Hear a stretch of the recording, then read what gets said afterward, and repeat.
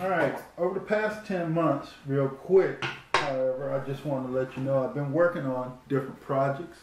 This is the first uh, mount we came up with, big, bulky, and heavy. I have been working on mounts, working on designs, trying to find something that's going to be, you know, useful. The way you grip the handle, the angle, uh, makes a big difference as far as comfort when it comes to holding your camera for a while. Uh, all kinds of setups and ideas I've toyed around with.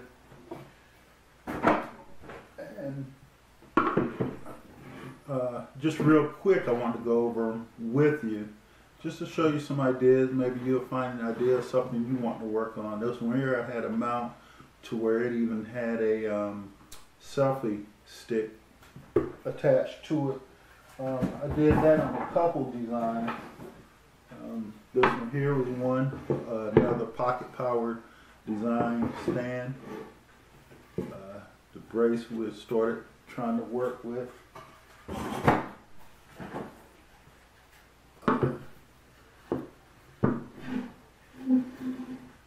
I noticed with the the two by fours they were pretty wide. I would have to round them down on the edges to get a nice grip.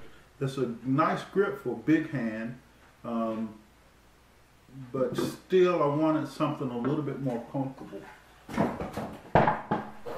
like I said, there's hundreds of drawings I went through, but only a few designs I came up with because uh, torn around with them tends to get expensive.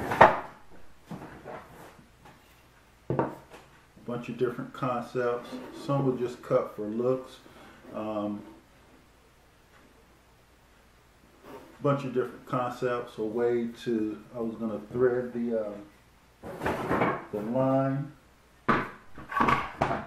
This here is one I used with the um, pocket power as well. I did use it for a couple runs. And what I did here was I would wrap the cable around the top here. This is, before I get to that one, this here was also one I toyed around with, try, uh, had a GoPro camera, style camera connected to that, as well as a selfie stick attachment, and with the same deal with this one, the cable wrapped around the top here. This is one that I, as a matter of fact, this is the stand from our first video um, that we used. We started shooting with. And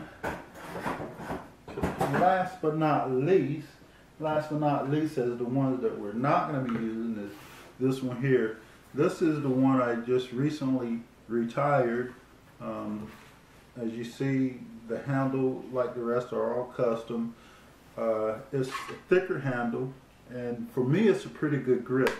But I wanted to go with something, like I said, yet more comfortable, more universal grip for most people, especially people with smaller hands. So what I ended up coming up with is this concept here. And like I said, this is the block we're going to go with. As a matter of fact, that is what I'm calling them.